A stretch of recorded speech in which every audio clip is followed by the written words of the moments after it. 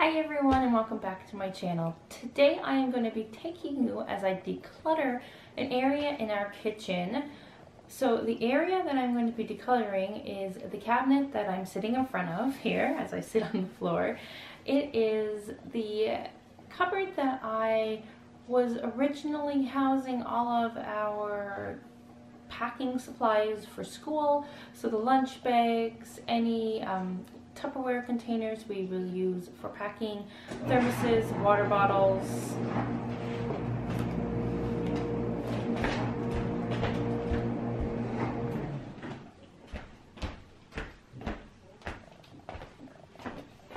Hi everyone and welcome back to my channel. Today I am going to be decluttering with you and I thought I would take you on this journey with me.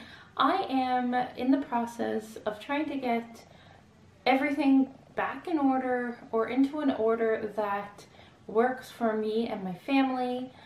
I'm sitting in front of the cabinet I'm going to be decluttering today, which is our, I guess, lunch packing station. It's where the thermoses, the water bottles, the Tupperware containers that I send to school with the kids, our lunch bags, I have one as well because when I am working I do bring a lunch, and I just, I need to get it back into working order. It ended up being the cabinet that everything was just thrown into, extra things, and um, yeah, I just need to get it back in order. So I thought I would take you along um, on this journey. So I'm going to open up the cabinet and give you a look at the before and then take you along as I clear out and organize this cabinet in my kitchen.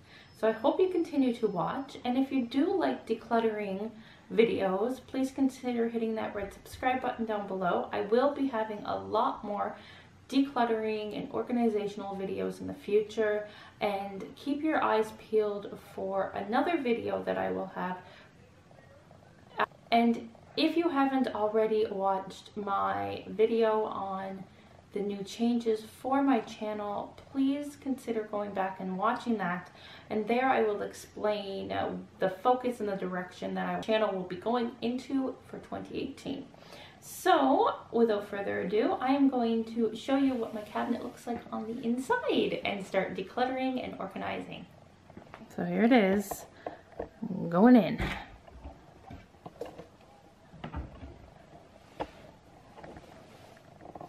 It is a mess. See? It's just everything is thrown in. I have extra supplies here. So we have the, um, these should be under the sink, an extra bottle of water in case we lose power ever. We like to have that on hand. Cups, which belong down in the party supply section. A large thing of stuffing, which would be in the pantry we just have bits and bobs and different things. So ideally, I want the uh, top section just to be lunch packing supplies. And then on the bottom section, I will have um, the extra food supplies that do not fit into the pantry that we have.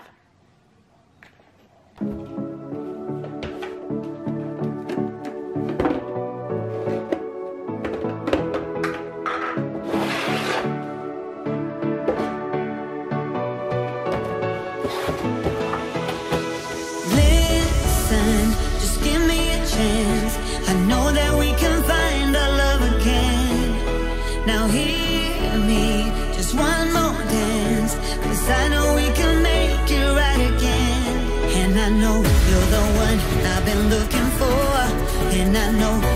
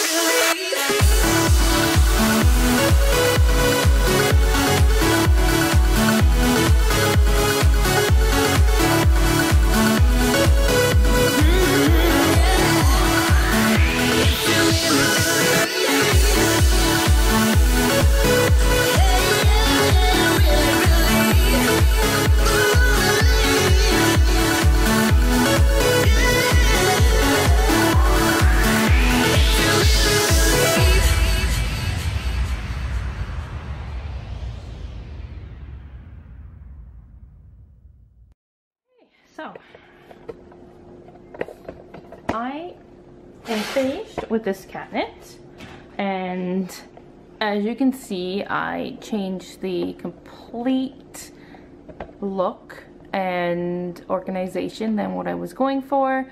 Originally I had thought that I wanted to keep it our lunch packing supplies but the more I thought about it the more it just simply didn't make sense to where I prepare the lunches, it's on the complete opposite direction of the room. So I decided to use it as our kind of Costco cupboard, the overflow of things that we need space for. So as you can tell, we don't have Costco anywhere near us. So we go about four times a year and when we do go, we do buy like goldfish and juice boxes and things like that. And this is just the extra. So down on the bottom, I have one box, like there's one pack in that goldfish box left.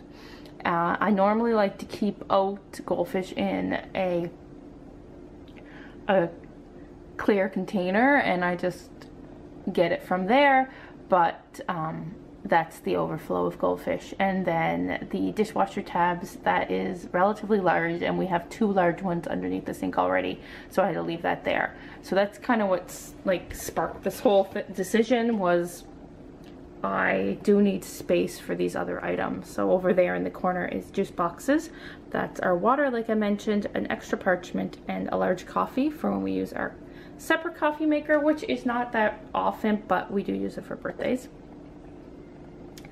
um, popcorn, plastic cups, and straws. These are soup bowls. We don't use them too often, so they're just kind of there. I could actually move those over with our Tupperware, our glass Tupperware. In that container is just extra napkins, the stuffing, and a pancake mix. So this cabinet is looking fantastic, I think. It is empty and I am loving what I did with it. If you want to see where I decided to store my lunch packing supplies, stay tuned for the next organizational video where I will show you my new lunch packing cabinet space. So until next time, I want to thank you so much for watching. Hope you enjoyed. If you are enjoying this content, please consider hitting that red subscribe button down below. It will mean so much for, to me if you join my YouTube family. I am going to do my best to stick to the schedule this year and post two times a week. Lots of organizational videos, decluttering, and um, family related content. So please stay tuned. And until next time, I hope you have you have a wonderful day and as always, take care. Now.